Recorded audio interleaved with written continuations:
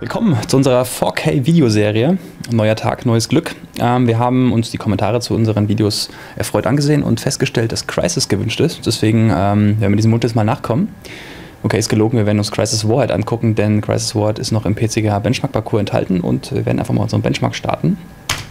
Mit der 64-Bit-Exe von Crisis Warhead, damit das Spiel auch fleißig Speicher adressieren kann, ohne abzufliegen. Das ist ziemlich praktisch.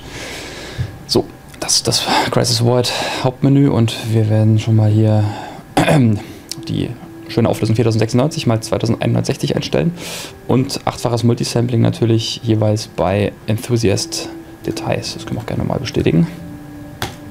So. Das hier ist der PCGH Benchmark von Crisis Warhead.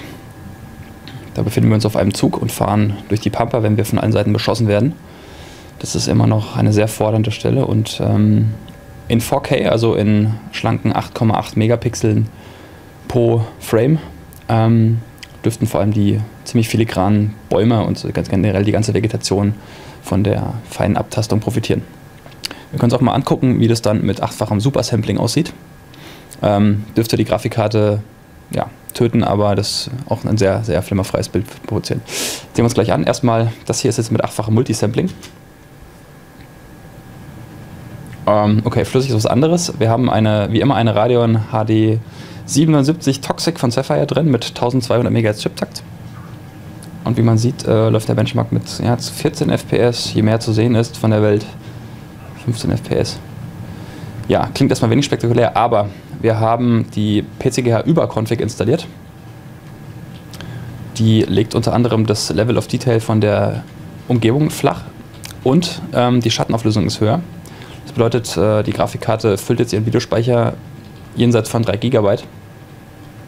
Und ähm, wie man sieht, sieht das super aus.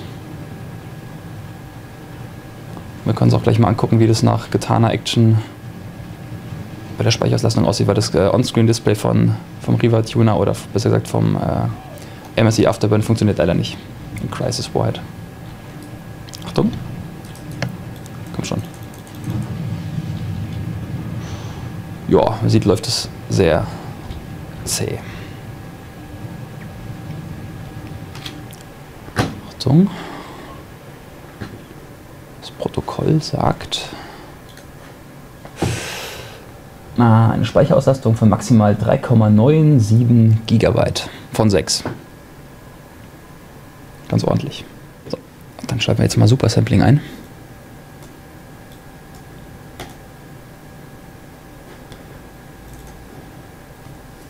Und wiederholen das Spiel. Ja, wir gehen jetzt mal von ziemlich krass einstelligen FPS aus, denn der achtfache Rechenaufwand pro Pixel ist halt schon ein bisschen ein größeres Kaliber, wobei die Speicherauslastung nicht wesentlich steigen dürfte. Ja, die Krönung, um Crisis Void wirklich hübsch zu machen, wäre noch einen Texturmod zu installieren. Zum Beispiel diese Rigel-Texturen, die weiter die Speicherauslastung steigern und natürlich auch die Qualität erhöhen. Also mit dieser Texturmod könnte man wahrscheinlich dann auch über 4 GB Grafikspeicherauslastung kommen. Das lassen wir jetzt mal, denn ähm, das ruckelt eh schon genug. So, die Grafikkarte dreht schon auf. Wir haben achtfaches Supersampling an. Und ja, gucken, wie es läuft. Fantastisch. Ähm, wir haben eine konstante Bildrate von äh, satten 5 FPS.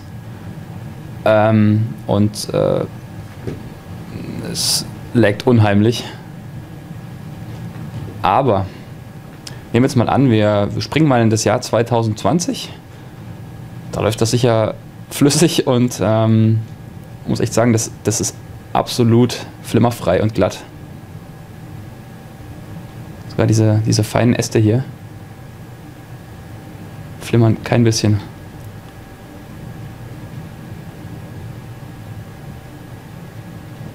Ja, 5 FPS auf einer Radeon HD 77 at 1200 MHz bedeutet auch, wenn man jetzt noch, boah, wenn man jetzt noch zwei weitere Grafikkarten einbaut, können wir jetzt bestenfalls auf 15 FPS. Ja, ähm, wir sprechen uns im Jahr 2020 nochmal. Aber geil. Kurz einen Blick auf die Speicherauslastung werfen. Ja, liegt relativ unverändert bei knapp ja, 3,8, 3,9 GB von 6.